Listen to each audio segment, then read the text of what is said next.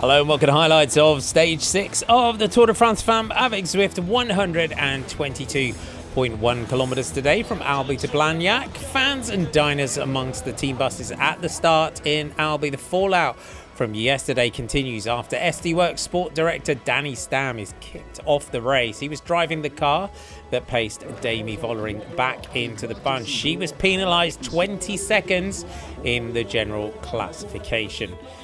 At the start, Yara Kastelijn back into the polka dot jersey as the leader of the Queen of the Mountains a classification. Great day for Canyon SRAM, who had won the stage the day before with Ricarda Bauernfeind. Lotte Kopecky still in the yellow jersey as race leader, 49 seconds ahead of Ashleigh Moolman-Pasio, who is wearing green. The South African second in that classification behind Kopecky. Cédrine Kerbaol still in white.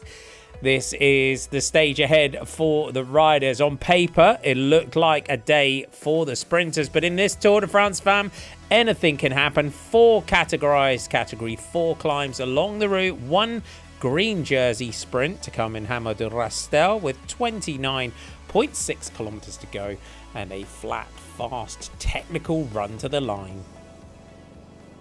Agnieszka Skalniak-Sójka of Canyon SRAM had gone clear with Sandra Alonso, who had been distanced by the Polish rider. She was then paced back up by Emma Norsgaard of Movistar. Lotta Henttala of the AG Insurance Soudal Quickstep team was then ejected from the race with her sport director for hanging on to the car. Plenty of animation in the bunch behind. Lizzie Deignan was uh, one of the riders going on the attack with uh, her teammates. Amanda Spratt had also tried on multiple occasions. Jade Wiel of FDJ Suez, the next rider to go on the offensive. Charlotte Kool, though, was being paced back into the bunch by teammate Megan Jastrab. Unfortunately, a big crash for American Veronica Ewers. She would manage to get up and continue the race, but she would lose a considerable amount of time. Queen of the Mountains leader Yara Kastelijn had also gone down. She had a nasty gash on her elbow. She was paced back on by her teammate Julie Van de Velde and made it back into the bunch. Kastelijn had started today sixth overall, a minute down on the general classification. The breakaway, though, as they headed towards the final 40k, were looking good. The gap was down by 30 seconds as they hit 30k to go. Grace Brown one of the FDJ Suez riders who also tried to get clear and make it up to the break. They didn't. Lotte Kopecky and Ashleigh Moolman-Pasio, the two riders that really are battling for the green jersey. Moolman-Pasio will fancy her chances on the Col de Tourmalet on stage 8. Heading towards the final 5k with Toulouse in the distance, it was going to be touch and go whether the breakaway could hang on. Emma Norsgaard, Danish time trial champion, launched a move it was the end of the day in the break for Sandra Alonso, but Skalniak-Sójka had managed to stay with her. A real technical run in towards the finish, including some tram lines, a kink right, then left, did take down multiple riders in the peloton behind. The sprinters, however, made it through. Norsgaard, previously known as a bunch sprinter, was still holding an advantage. Anna Henderson of Jumbo Visma had managed to take a flyer. She was leading out for teammate Marianne Vos. Norsgaard, though, saw that she still had the advantage, launched that famous sprint. And another day that had been earmarked for the sprinters went the way of the breakaway. Norsgaard coming back from a broken collarbone in Strade Bianche earlier on in the season takes the biggest win of her career with Charlotte Kool leading in the bunch behind, just ahead of yellow jersey Lotte Kopecky.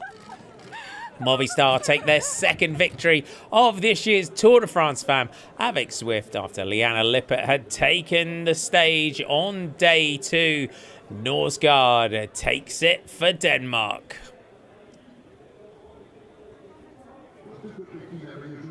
That sprint behind. Charlotte Kool takes second. Lotte Kopecky bangs a fist on the handlebars. She'll take the yellow jersey, though, into the Col de Tourmalet. Your top 10 looks like this. Emma Norsgaard from Charlotte Kool, Lotte Kopecky, Vos, Paladin, Consonni, Javilda, Lat Guazzini and Skalniak-Sójka hangs on for 10th place.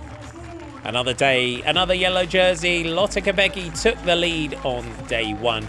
She will be hoping she hands that jersey to teammate Demi Vollering tomorrow. She still leads by 53 seconds ahead of Ashleigh Moolman-Pasio with defending champion Annemiek van Vleuten in third. Plenty of contenders still in the top 10. They'll be looking for success tomorrow. The green jersey still on the shoulders of Kopecky. She'll be looking to take that jersey on Sunday after the time trial in Pau.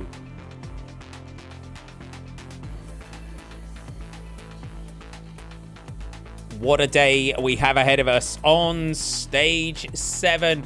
It's a short one. It is 89.8 kilometers from Lannemezan to the Col de Tourmalet. One green jersey sprint before we start climbing the famous ascent of the Col d'Aspin and then up to the Col de Tourmalet. Will the general classification be put out of sight as we will head towards our time trial on Sunday? Toulouse Airport, where Concorde was designed and flew its first ever flight. The riders who will have wings on stage 7 to fly here in the Tour de France Femmes avec Zwift.